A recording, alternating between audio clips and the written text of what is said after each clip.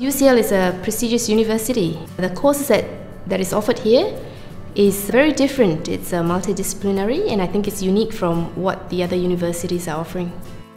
Well, I look after the students' well-being and basically communicate a lot with the students while they are here on campus. I think the students here is a, a good mix where we have um, domestic students as well as international.